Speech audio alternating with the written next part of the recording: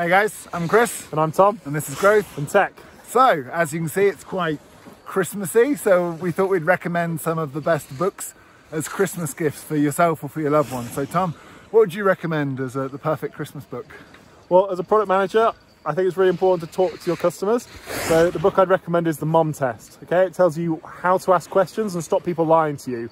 If you just ask someone, do you like my, my app, my new product? They'll be like, yeah, that looks great. But they're never actually going to buy it. So they've just lied to you. So it's a great book to tell you how to get better information from your users. Yeah, I loved it uh, when you recommended it to me. Um, a lot of the advice shows you how to like make proper questions because it's very easy to write leading questions and just get the answers you want, right? So really would strongly recommend it. Not only is it going to teach you to talk to your customers better, uh, but it's going to get you better data to make better products. Yeah, so, definitely.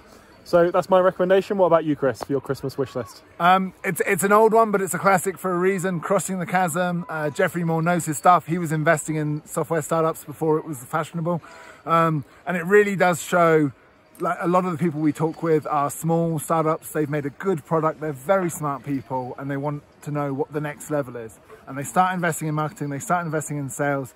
They're going through the motions and they don't see why it's not connecting. And, and crossing the chasm has everything you need to know, everything you're probably missing out on if you want to start landing some big enterprise clients. Yeah. And I really enjoyed it from a technical side because it showed you why your early adopters, you get really excited when you get 5, 10, 20, 100 installs and then there's, it plateaus, it stops and you think, oh, I must need to add loads of new features. That will change everything. But the reality is it's not that, it's that the market's changed and you haven't crossed the chasm. And that's where, Chris, it really comes into play. Yeah. One last thing I'll say is uh, don't fuck around on LinkedIn during Christmas. Spend time with your family. They, they miss you.